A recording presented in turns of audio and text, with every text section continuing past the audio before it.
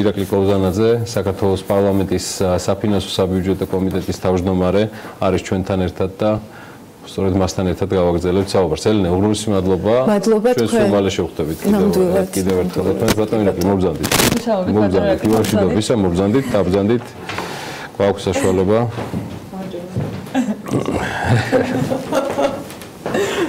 დაბრძანდით ბატონო ირაკლი. მადლობა მისცემ ხართ ჩვენთან ერთად. დიდი მადლობა მოწესრიგეთ. წლის მიწურულსაც და გვექნება შესაძლებლობა რომ ამავე წლის როგორ გიგითხოთ? მადლობთ. იმებს ვისაუბროთ. დიდი მადლობა. როცა ბატონი ირაკლი მოდის ხოლმე BMG-ში სტუმრად, ყოველთვის ვაკვირდები მის აქაღალდეს.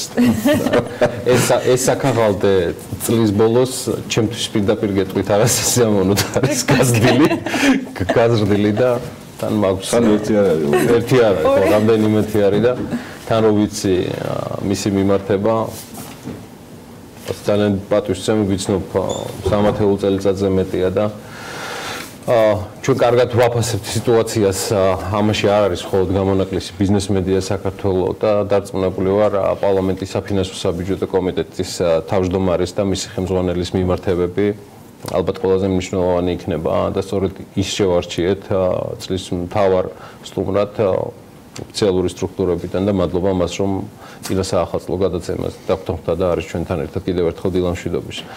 აა ყველანაირად მოსაუდნელი იყო რომ წლის ბოლოს და მე-10 მოწვევის პარლამენტი დაამტკიცებდა ბიუჯეტის საბოლოო პროექტებს. საბოლოო პროექტს და მის თანამდებობ დოკუმენტებს მე ბევრი ტონალობა, ბევრი კონკრეტიკა არათუ ამოვიკითხე და დავინახე, ჩემს გარდა კიდევ ბევრმა მაყურებელმა უცქირა, მათ შორის თქვენ შენიშნებსაც რაც ამ ამისთვის ყოველფრისთვის თამდევი იყო. პროცესი წლის ბოლოსკენ პატონი როგორ შეიძლება შეფასდეს გულისმო პარლამენტში როგორ ჩამოყალიბდა ეს ყველაფერი, იმიტომ რომ ერთია ის პოლიტიკური რეალობა რაც დადგა, რომელიც ყველას აწუხებს, არც თქვენ დაგიმალავთ ამასთან დაკავშირებით თქვენი მიმართება და მეორე სულ გვაქვს ის რეალობა, სადაც ვიმყოფებით არსებულ ეკონომიკურ და ფინანსურ მდგომარეობასთან მიმართებაში. ამით დავიწყოთ და შემდეგ უკვე გავაგრძელებ საუბარს. შეროქს დიდი მადლობა მოწვევისათვის. რამდენიმე თვეა თქვენთან აღყოფილად, ამიტომ მადლობა რომ აქ ვარ თქვენთან. მისამები ყოველს დღეს 31 დეკემბერია და აქედან გამომდინარე მინდა რომ თქვენ მაყურებლებს, სვენელებს საქართველოს ბიზნეს საზოგადოებასთან ჩვენს ქვეყანას მიულოცოთ ამდენი ახალი წელი და შობა და ის რომ მომავალი წელი ბევრად უკეთესი იყოს ვიდრე 2020 წელია.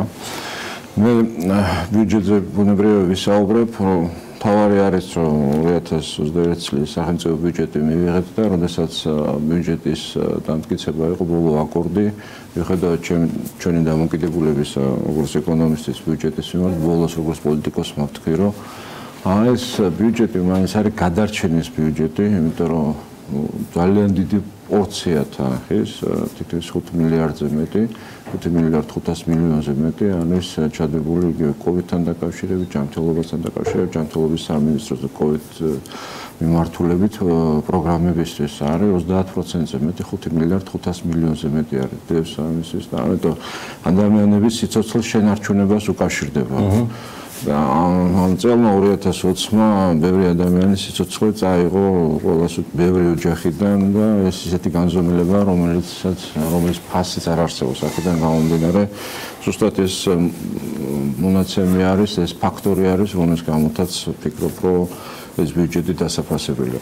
ეხლა რაც შეეხება და ამიტომაც არის რომ ჩვენ ყველა მხარე დაუჭირეთ, მაგრამ რაც შეეხება ეხლა თვითონ ამ პროცესს, ბიუჯეტმა ასახა, მე ვფიქრობ, საბიუჯეტო პროცესმა ყველაფერი რაც ქვეყანაში ხდებოდა, ხო? აა იქიდან გამომდინარე რომ თუნდაც საბიუჯეტო პროცესი თქვენ მოგეხსენებათ, იწყება გაზაფხულზე და მთავრდება წელს. იმის გამო რომ პოლიტიკური პროცესები დაძაბულობა კოვიდთან დაკავშირებული საკითხები, არჩევნები, ყველაფერი ერთმანეთს დაემთხვა. ჩვენ თუ თანმიმდევრობით საბიუჯეტო პროცესებს გავყვებოდით, ხო, ჩვენ უნდა გვენახა თანდათანობით გადასვლა პროცესებს. ამას დაემთხვა კოვიდთან დაკავშირებული ყველა ეკონომიკური ფაქტორის განძაფრება და რეალური ბიუჯეტი. ჩვენ მივიღეთ არა 1 ოქტომბრიდან, როდესაც პირველად მეორე განხილვა იყო, არამედ რეალურად მივიღეთ უკვე 1 დეკემბერს, სადაც ხო, სადაც იყო, რასაც მე ვამბობდი, ყველა მაკროეკონომიკური ფაქტორის შეცვლილი და გაუარესებული. ჩვენ ნახეთ, რომ თქვა თუ პირველ მეორე მოსმენაში ბიუჯეტის დეფიციტი 5.1%-ი იყო, აქ იყო 7.6%-ი და ასე ვალის, თქვა კრიტიკულ ზღვარს ზემოთ 60.1%-ი. ამიტომ ეს ისეთი ფაქტორები იყო, რომელსაც ვერავინ გურცულავდა და ღიად ჩვენ ეს თქვით. და აქედან გამომდინარე იყო ყველა ის ასე თქვა კონსერნები, რაც ჩვენ გვაწუხებდა. ბატონო ირაკლი, ყველაფრის ამის გათვალისწინებით იყო თუ არა შესაძლებელი თქვენი მოსაზრებით ჩვენ ყოველს გვესმის რა ტიპის ბიუჯეტი იქნა მიღებული რომ ეს ტიპიურად სხვა ბიუჯეტი ყოფილიყო თუნდაც 1 დეკემბერს. მაი გეტყვით რას გულისხმობ. აა მე არ ვეხები შემოსავლების ნაწილს, რომელიც ისედაც სერიოზული რისკის ქვეშ არის. ვაქცინიდან, იმ შესავლიდან გამომდინარე, მრავალი დილემიდან გამომდინარე, რაც ზელენე კვანჭილაშვილი საუბრობდა, მე ვსაუბრობ ხარჯითი ნაწილიდან გამომდინარე.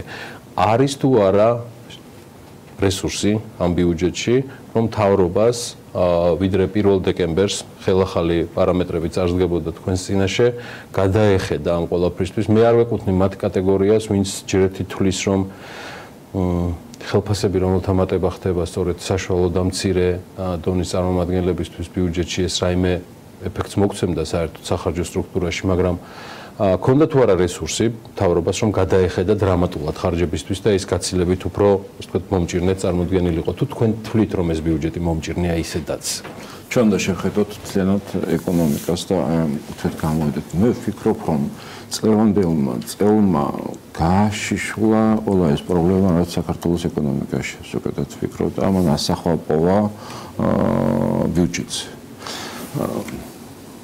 აი კოვიდმა მე ესე ვიტყოდი რომ ან შეატორტმან არა მარტო საქართველოში არამედ მთელ სოფლიოში ეს ეკონომიკები და ესე ვთქვი რომ ძირს დაანარცხა მეთქი და რა შეესაბამება ხო?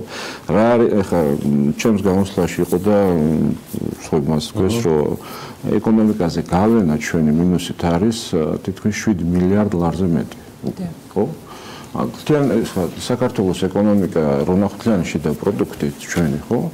75% ბატონო გიორგი არის მოსახურების სექტორი. თქვენ შიდა პროდუქტის მოსახურების სექტორია ხო? აქედან წარმოიდგინეთ ხეთ პრივალირებს თითქმის ტურიზმი იყო. უტუზარმაზარი შემოსავლები აქედან დავკარგეთ. ახლა რა არის თქვენ შიდა პროდუქტის სტრუქტურა დავინახოთ? არა რა. ეს არის ფისკალი ეს და ხო ბიუჯეტს ბიუჯეტსაც რო ბიუჯეტს უნდა შეხედოთ აი როგორც როგორც ბანკირი ესე გიკითხები ვამბობ აი ბანკი თუ გინდა ნახოთ აქციონერების გარდა ნახოთ რა როგორ შევისწავლოთ რა ეს არის აქტივები პასივები კაპიტალი ხო აი რა ევიტა როე რაე და მე პირველადი მეორადი კაპიტალი დააშენ. ბიუჯეტის ესე უნდა ნახოთ ხო თან თლიანი შიდა პროდუქტი და ესე ჩვენი შიდა პროდუქტი თლიანი შიდა პროდუქტი დაახლოებით სამი უმთავრესი კომპონენტისგან შედგება. ეს არის ფისკალი აჰა ეს არის ინვესტიციები და შემდეგ არის სესხები. აი ეს ყველა კომპონენტი არ უკეთრად შეკუმშული. ჩვენ ვამჩნევთ ამას. აქედან გამომდინარე, ამის ყველას ასახვარი ბიუჯეტი. ჩვენ ახლა ყველა კომპონენტი გვიმცირდება შესაბამისად აქედან არის რო გვჭირდება დამატებითი სესხების მიღება გარედან. აი ამ კომპონენტებს როგორც კი ჩაშლით და ინვენტარიზებას გააკეთებთ, ხო? რჩება ეს რაც რჩება. ამიტომ თქვი მე რომ აქ არის უნიშნელოვანესი რამ ადამიანების სიცოცხლის და ჯანმრთელობის შენარჩუნება. ამისთვის არის საჭირო ეს დაახები და სანამ მე იმედი მაქვს რომ სანამ ჩვენ ხე მეორე მესამე შემდეგი ტალღა არ იქნება ეს მეორე ტალღაზე დამთავრდება, სანამ ეს პროცესები ასეთნაირად მიდის, ჩვენ დაგვჭირდება აი ამ თანხების მობილიზება იმისათვის რომ ადამიანებს გაუხთხილდეთ და ეს პროცესები ესე წავიდეთ. მეორე საკითხია აქ არის ხო ნუ მთელი რიგი არაპროგნოზირებული პროგნოზირებადი ფაქტორები იყო ხო ბიუჯეტთან დაკავშირებით ელენეც ლაპარაკობდა ხო? ენერგეტიკასთან დაკავშირებით ტარიფის სუბსიდირება მოხდა ხო? 105 მილიონი დაუშვათ.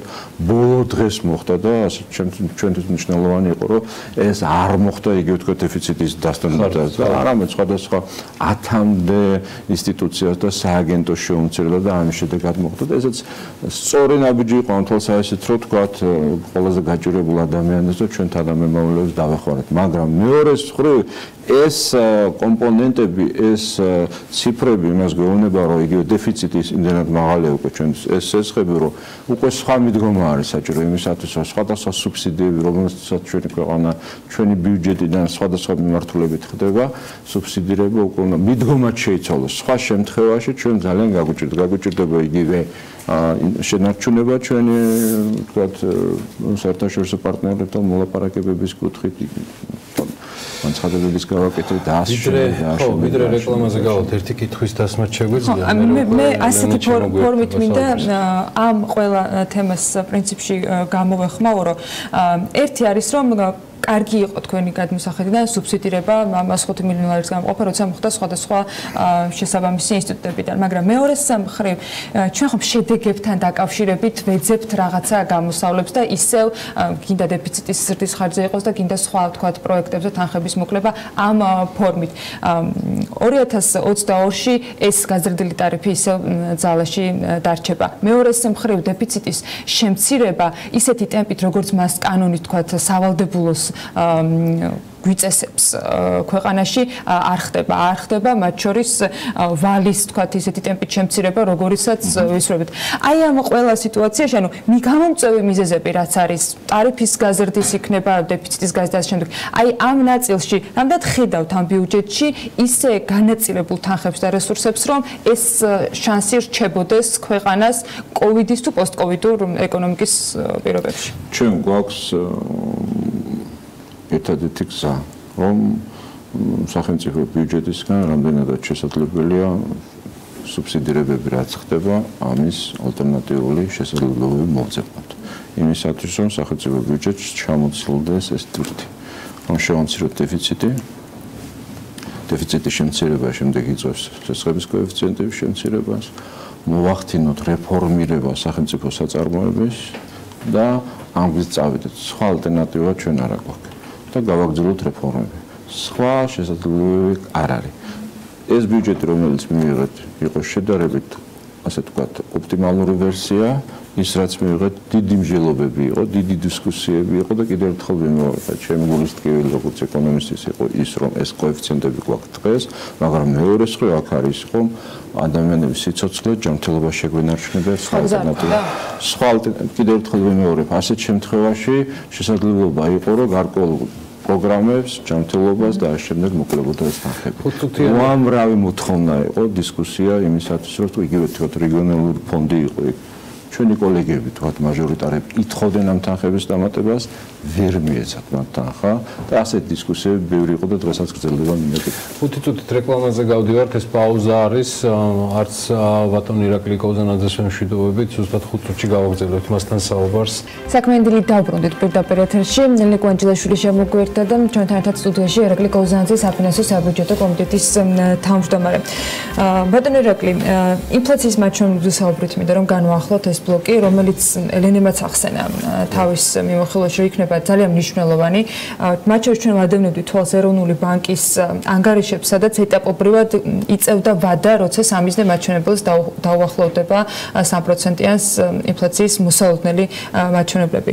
თქვენი პროგნოზები ის რაც ბიუჯეტში არის მესამე ვარიანტით დამტკიცებული, რა მოლოდინს გიჩენთ და რამდენად იქნება 2021-ში ეს საკითხი გადამწყვეტი მათ შორის იმ სოციალური დახმარების გაცემის თქვა ტემპის და დინამიკის რომელსაც თავრობა სოციალური თანასწორობის რაღაცნაირად დასაბალანსებლად იყენებს. ცენტრალური ბანკი ჩვენ გვიმტკიცებს რომ 3%-იანი მაჩვენებელი მიზნობრია მაჩვენებელი არის მათთვის ამ საშუალო ვადიან პერიოდზე და ეს პარლამენტმა დაამტკიცა.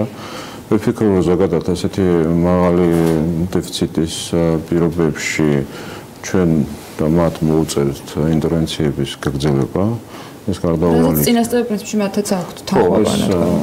მოუწევთ. გუშინ მომწევან საჩვენა მათ ინტერნეტები განახორციელეს 30 მილიონის მაგნებში, რამოდენიმე ასეული მილიონი ალბათ საჭირო იქნება, ეს დამოკიდებულია იქიდან. იმაზე კიდე როგორი გარემო პირობები იქნება, მე ასე ვფიქრობ. არ გამოვრიცხავ და თქვი რომ მონეტარული პოლიტიკის გამკაცრება საჭირო გახდეს, თუმცა ბატონო კობა ამბობს ჯერჯერობით ამ ამ პროგნოზს ბოლომდე არ ეთანხმება. ამბობს რომ შეინარჩუნებს, მაგრამ ჩემ მოლოდინია რომ გამკაცრება მოუწევს. ამ ვიურბებში ასეთ შემთხვევაში იმისათვის რომ მისი მანდატის თავარი პირობა კომპონენტი რომ ინფლაცია მიზნობრივ მაშინებელთან ყოველთვის ახლოს კონდეს აა საშუალო ვადიან პერიოდში რა არის საშუალო ვადიან პერიოდი ნუ მისთვის არის ალბათ ის სამი წელი ვადა რომელიც აა ჩვენ ქვეყნის შემთხვევაში არის განსაზღვრული.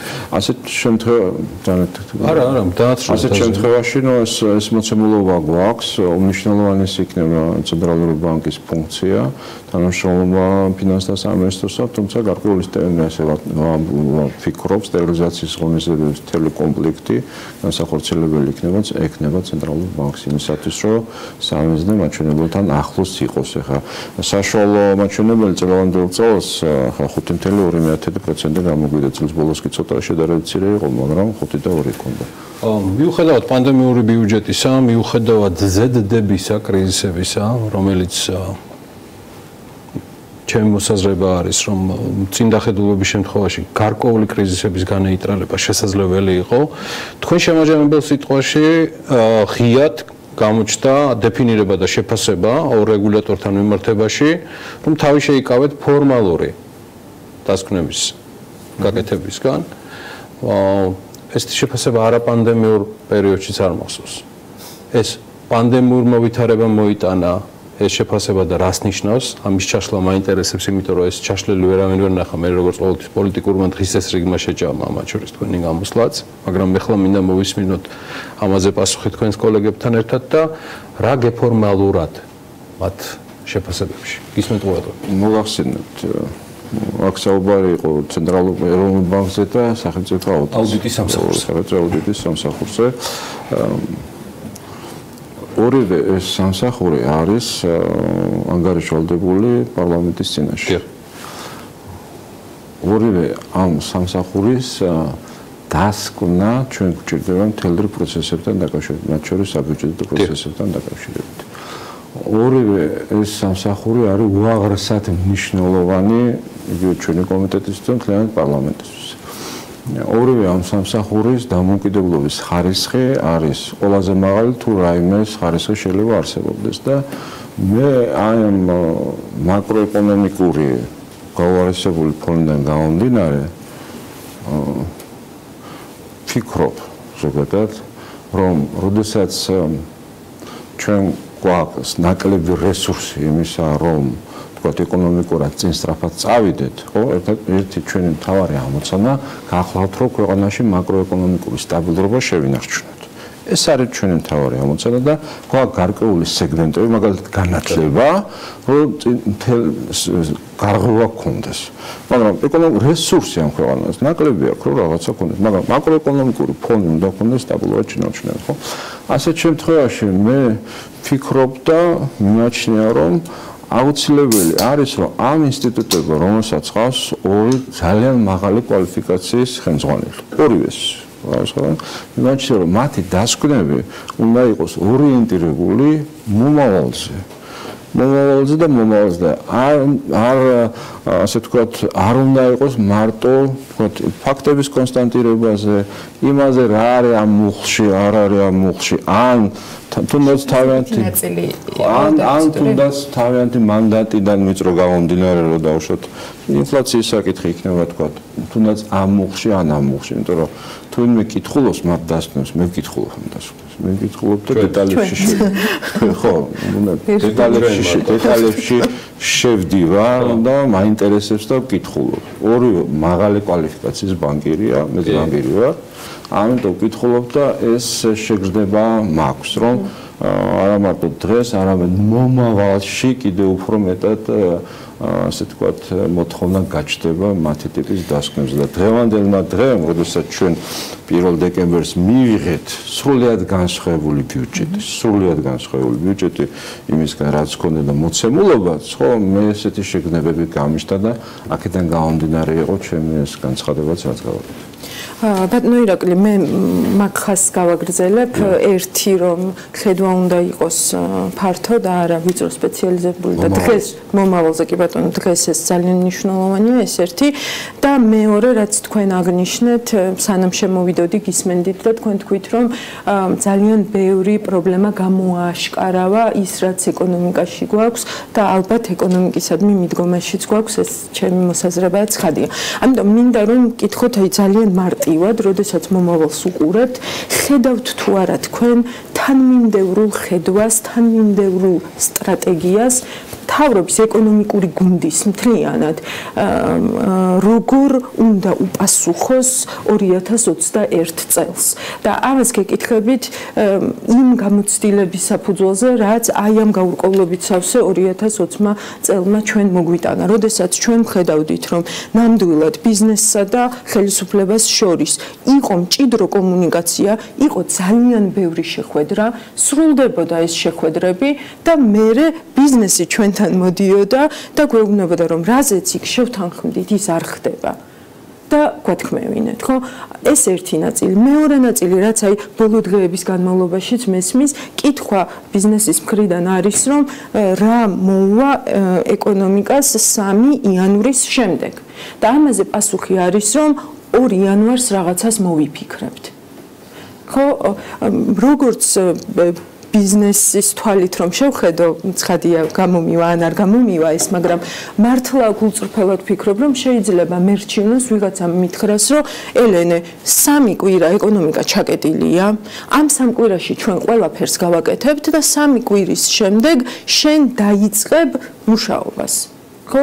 აი ამ ხედვას ეს თქვენთვის ესეც გამოაშკარავდა თუ არა ამ სისუსტეებში რაც დაინახეთ და 2021 წელი თუნდაც ბიუჯეტის აი იმ გრმად წაკითხვის ფონზე როგორც თქვენ ამ ბიუჯეტს კითხულობთ ჩანს თუ არა აი ეს ხედვა ეს რამე მინდა გითხრათ რომ მე როდესაც ვთქვი რომ აი ეს პრობლემები გამოაშკარავა ეს პრობლემები არ არის მარტო თუნდაც აი ამ თავრობის დროს გაჩენილი პრობლემები ის მინდა ეს პრობლემები არის მემკვიდრეობითი პრობლემები დამოუკიდებელი საქართველოს მიღების შემდეგ რაც საფრთხეში დაიგრა მის მერია და როგორ აიცით ესეთი ეხლა არა მარტო ეკონომისტი მათემატიკოსიც ვარ და განზომილების თეორიაში დავიცავე საკანდიდატო დისერტაციის საფრთხეში იყო ტოპოლოგიური სივრცეების განზომილებას სწავლობდით ჩვენ და 13 წელი მათემატიკის ფაკულტეტის დოცენტი ვარ ზუსტად ამას ვამბობ.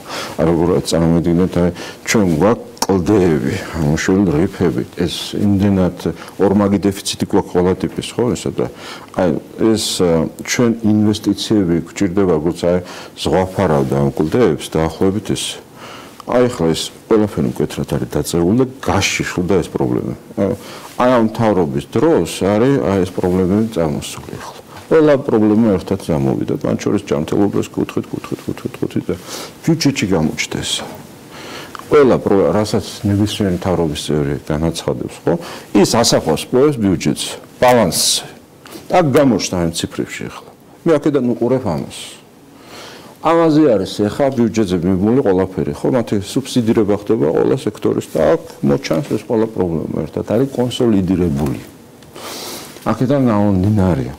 ზოგიერთ შეხვედრას მე ვესწრები ზოგიერთ შეხვედრას არ ვესწრები. გულწრფელად მინდა გითხრათ არა ვარ მონაწილე. სადაც ვარ ეხლა მე თვითონ ბიზნეს ორიენტირებული ადამიანი ვარ ძალიან კარგად მისმის რომ ბიზნეს უჭირს რაღაცების დაგეგმა. არსებული ლარის კურსის პირობებში არსებული გაურკვევლობების პირობებში ამ პრობლემებს ამ პანდემიას ეს ახლავს ხო თან. აქედან გამომდინარე მე მათი ძალიან კარგად მისმის და ვიცი რომ რა ტიპის პრობლემების წინაშე არიან. მაგრამ აი მე ძალიან მესიამოვნე ხა ბოლო განხილვა როდესაც მქონდა ერთი რომ კიდევ ერთხელ მინდა გითხრათ მე თვითონაც შეგრძნებები მქონდა მთელი ერთი თვე რომ აი როგორ წინააღმდეგობრივი მქონდა ბიუჯეტთან დაკავშირებით რომ ამაშოთ ესეთ მაღალ დეფიციტი ესეთი ესეთი მაგრამ როდესაც იგივე მაჭავარიანის და ჩემი დისკუსია იყო იქ იყო სწორი მიდგომები მასსა და ჩემ შორის ის რომ ჩვენ რა ტიპის რეფორმები გვჭირდება იმისათვის რომ სიტუაცია გავანჯასაღოთ. ეხლა ჩვენ გვაქვს ერთი ხედვა აიგივე სახელმწიფო საწარმოებთან დაკავშირებით და სამეთვალყურო საბჭოებთან დაკავშირებით და აქ სავალუტო ფონდი დიდი ხანი ამას ითხოვს და რა კრიტერიუმები გვჭირდება. ეხლა მე ვიყავი კორპორატიული მართვის კომისიის თავმჯდომარე ევრობანკში და ვიცი ჯანსაღი მართო როგორ უნდა ვინ უნდა დააკომპლექტოს და არა ვინ. და ასეთი ესეთი რაღაცეები არ უკვე დასაწყები. ხო სავალუტო ფონდი რა სიტყვის როგორ სწრაფად არის გასაგები ეს რამდენიმე წელია მოთხოვნაში მაგრამ არ ხდება ესა ხო? სუბსიდირება ხდება მთელი რიგი სექტორების რომელსაც მე ვფიქრობ არ არის გასაკეთებელი. ამ ეს ამ ბიუჯეტს ეს ტვირთები უნდა ჩამოეხსნას. მთელი რიგი საკითხები ახლა. ზოგიერთი ბიზნესის ზოგიერთი სექტორი დასახმარებელი ზოგიერთი არა დასახმარებელი ჩვენ გვჭირდება ასევე კრიტერიუმები თქვენც ახლოს ხართ მათემატიკით მეტრიზებადი სქემა, რომელიც მოგცემს იმის დახასიათებას, სწორად დავეხმარეთ ჩვენ ამათ სეგმენტს თუ არა. მიხდით ხო რასა? აი ესეთი რაღაცებია საჭირო, იმიტომ რომ ძალიან ასე ვთქვათ, წირი გვაქვს რესურსები, ხო? ჩვენ რეალურად უკვე მოზიდულ რესურსებს არა მარტო თუ აქამდე კაპიტალური რესურსები, კაპიტალური ხარჯების ის ვიყენებთ, დღეს ვიყენებთ ცირე ნაწილს უკვე მიმდინარე ხარჯებს. ამიტომ რესურსი არის შემცირებული, მაგრამ თავარი თემა გვაქვს ჩვენ ამას ვიყენებთ ადამიანის სიცოცხლეების, ადამიანების სიცოცხლის შენარჩუნების ეს არის ყველაზე დიდი განზომილება, რასაც ჭირდება, მაგრამ კიდევ ერთხელ ვიმეორებ, არის მთელი რიგი ფაქტორები, სადაც მეტი პროგნოზირება დაგვჭირდება მომავალში, მეტი თანადგომა დაგვჭირდება ბიზნესისთვის და მეტი პროგნოზირება. როგორ დავხარჯეთ და რამდენად იყო ეს ზუსტად მიზანი მიმართული? ამაზე სხვა აუდიტს აქვს მათ შორის შეფასება გასაკეთებელი იმისთვის რომ ჩვენ დანარჩენი დახმარება ევროკავშირისაგან.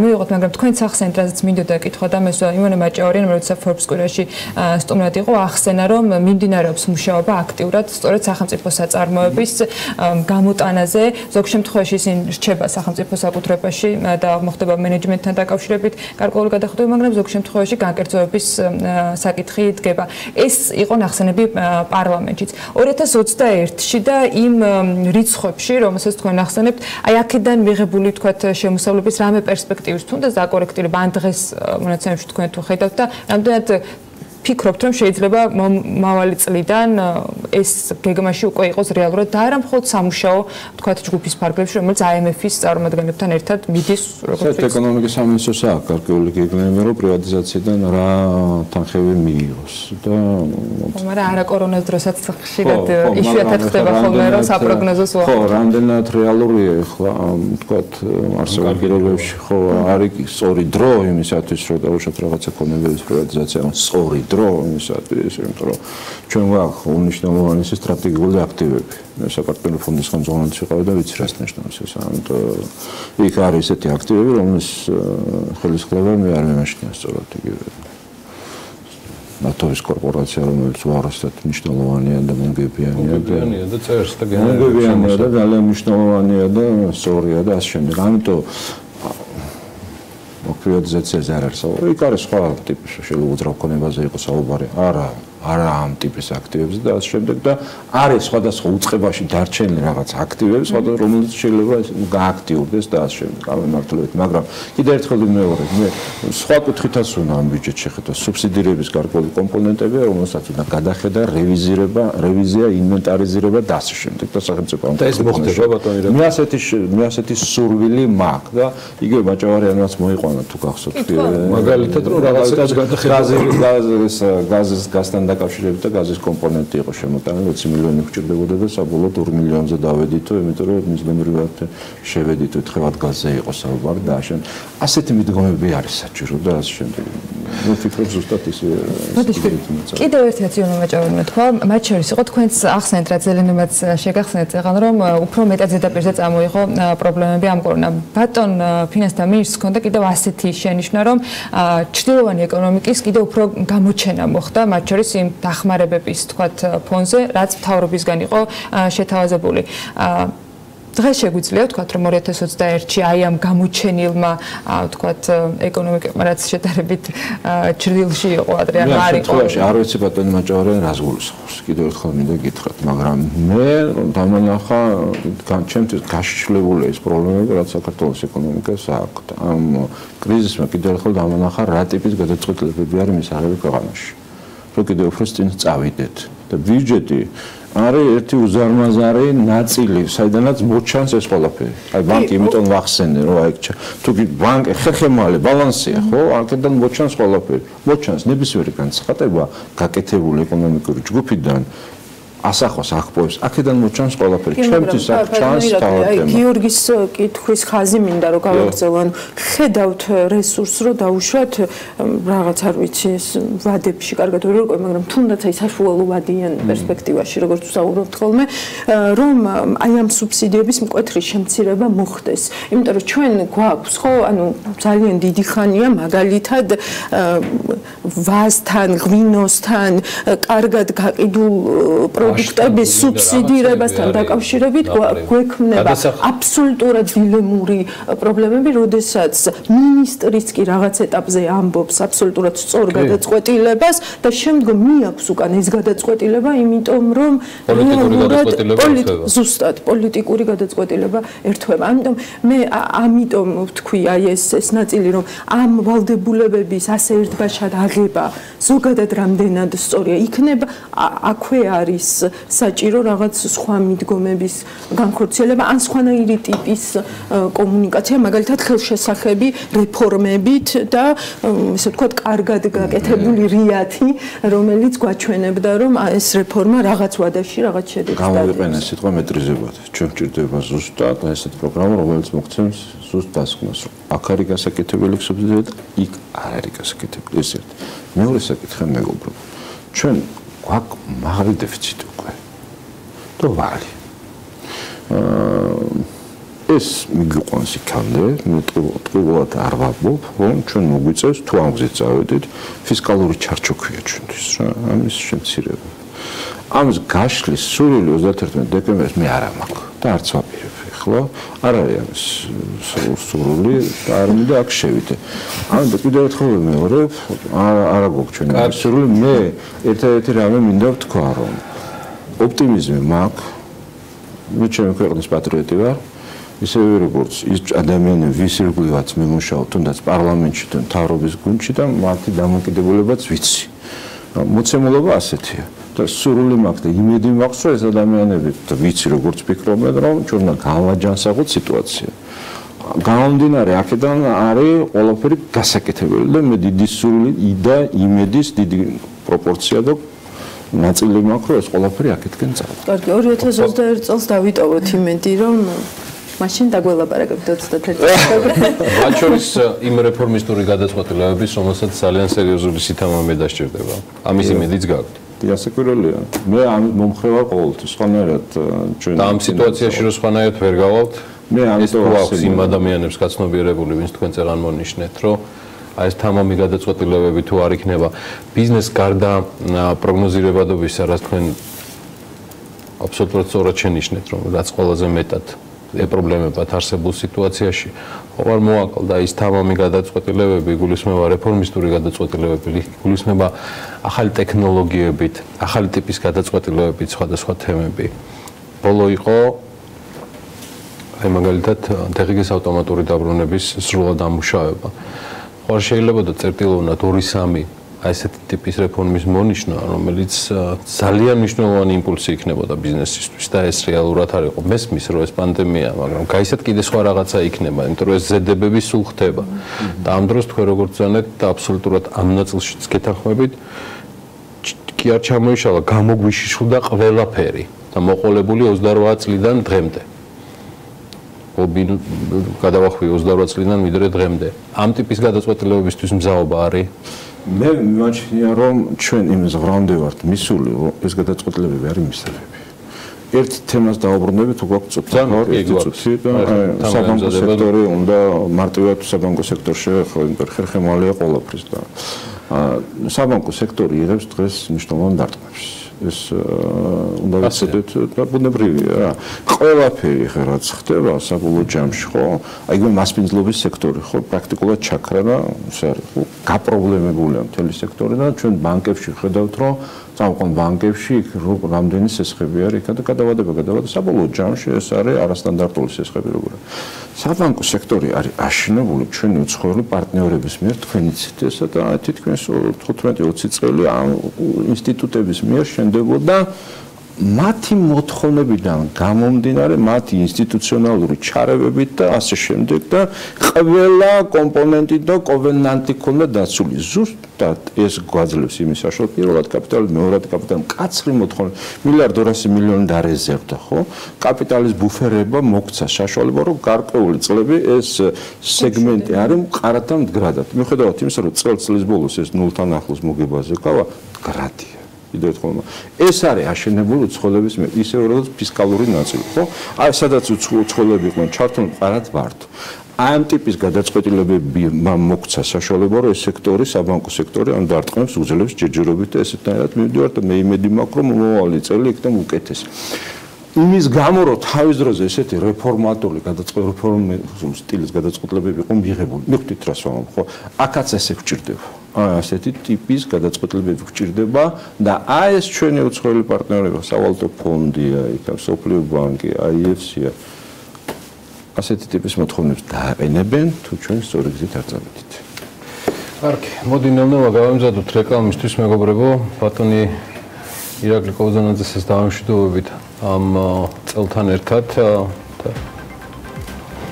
და რა ვიცი, ელენემ როგორც დაანონსა, იდეაში არც არაზოს არის.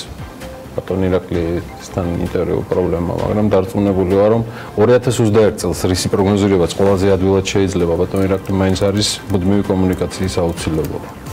მე ვთვლი რომ ეს მიმართულება განსაკუთრებულად სხვა დონეზე უნდა დადგეს 2021-ში ეს ჭირდება ბიზნესს, ეს ჭირდება საქმიან საზოგადოებას და ყველას. თქვენ წელსაც წლევანდელ წელსაც მადლობა ამ გამორჩეული დამოკიდებულება. დიდი მადლობა. ეს მადლობა მესმიდო და მე თქვენ და წელს ბევრი რაღაცის გამო იყო გამორჩეული წელი, ბევრი რაღაცის გამო იყო თუმცა მათ შორის შეიძლება პერსონალური მადლობა. მართლა ძალიან დიდი მადლობა თანამშრომლობისათვის, რესპონდენტობისათვის და ყოველთვის მზაობისათვის კითხვებზე გასცეთ პასუხები. ბედნიერი წელი მოგესწროთ ბატონ ირაკლი.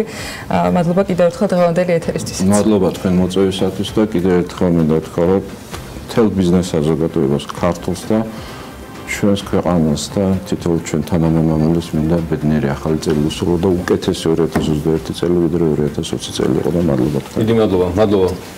მირაკლი კოზანაძე საქართველოს საფინანსო საბიუჯეტო კომიტეტის თავმჯდომარე იყო ჩვენი სტუმარი